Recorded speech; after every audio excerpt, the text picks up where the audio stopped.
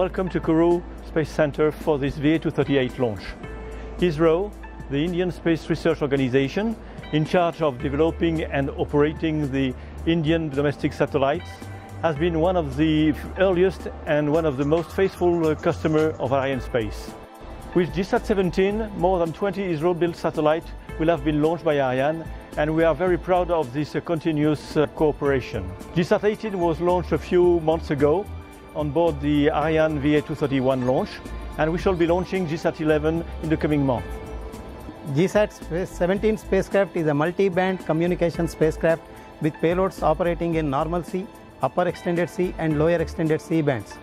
It also has a mobile satellite service transponder operating in S-band.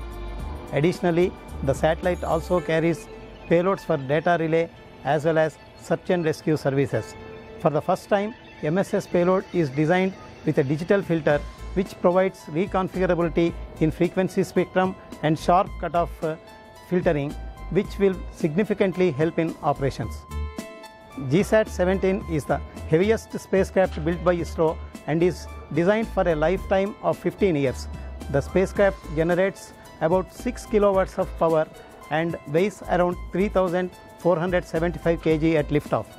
The launch campaign at Guiana Space Center has been very smooth with a very professional approach from ISRO, Arianespace and CNES teams. The teams also shared a very cordial relationship and had interesting cultural exchanges too. So thank you to ISRO for its continued confidence and all the best to GSAT-17 for its mission.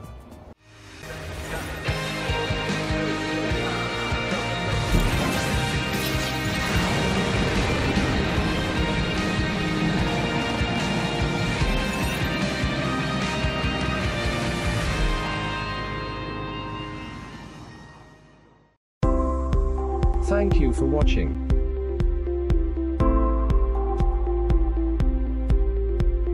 Click below to watch more videos. And don't forget to subscribe and press the bell icon.